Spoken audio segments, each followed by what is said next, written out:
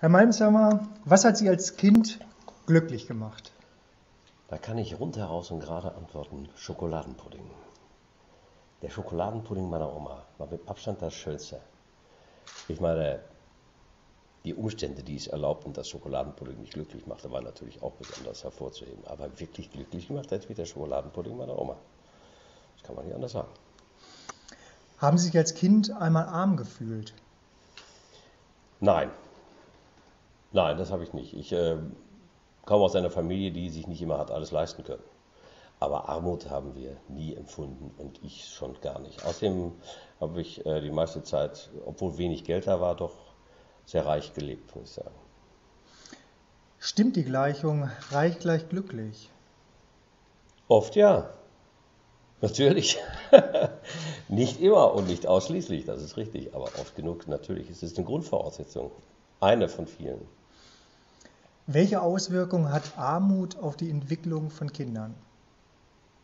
Oh, ich glaube, äh, ganz schlimme. Wenn man Kindern eine bestimmte Grundvoraussetzung und Grundbedingungen nicht äh, einrichten kann, dann bleiben sie zurück, glaube ich. Ob das sozial ist oder äh, in sozialen Entwicklung oder in der mentalen oder Entwicklung, das spielt keine Rolle, aber wenn man ihnen keine Möglichkeiten einräumen kann, dann geht das zu ihren Lasten. Wie Kinderarmut bekämpfen? Die Frage ist erstmal, wo? Die Kinderarmut in Somalia ist eine andere als die in Gelsenkirchen. Ne? Also ich denke, man sollte sich da, wo man ist, darum bemühen, ähm, dass die Eltern, dass den Eltern Möglichkeiten eingeräumt werden. Dann hat man für die Kinder gleich auch was getan. Kinderarmut, was würde Jesus dazu sagen? Ich weiß nicht, was das auf Hebräisch heißt, Kinderarmut.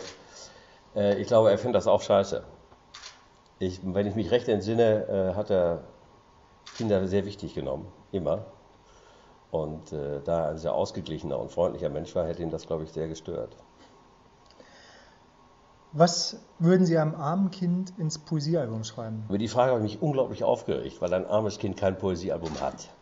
So, das ist auch das allerletzte, was ein armes Kind braucht, ein Poesiealbum, noch irgendein so Sinnspruch darin. Ich äh, würde versuchen, dass ein armes Kind nicht arm bleibt, wie auch immer. Was in meiner Kraft steht. Ich habe selber zwei, versuche ich. Und, äh, aber ich glaube, Poesiealbumsprüche sind das Letzte, was arme Kinder brauchen. Jetzt die Frage, die wir dazugefügt haben, also die achte. Mhm. Stellen Sie sich vor, Sie machen bei einer Posterkampagne Werbung für mehr Kinderlobbyismus. Ja. Welcher Werbespruch müsste aufs Poster? Hm. Also wenn ich das Poster selber machen würde, weil wir drunter stehen, ich habe zwei und Sie, so, das würde ich da drauf schreiben.